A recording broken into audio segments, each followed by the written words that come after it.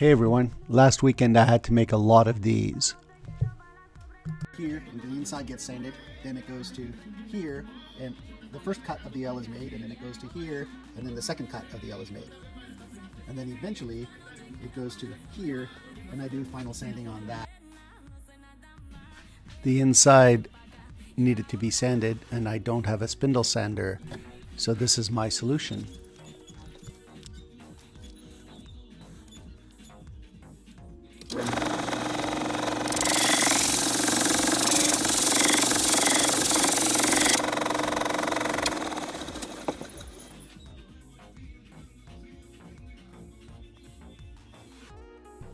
Hope you like it.